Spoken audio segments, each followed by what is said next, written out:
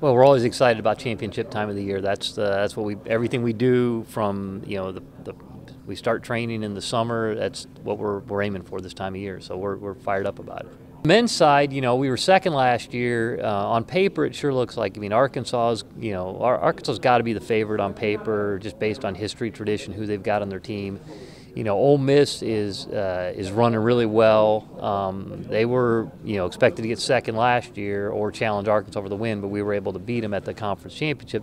On paper, we go in there on the men's side looking like we're a top three team. You know, um, you know, we'd have to sneak up a little bit on Ole Miss, Arkansas to do better than that. But we also have to fight off teams like Kentucky and Georgia to make sure if you know we finish in the top three.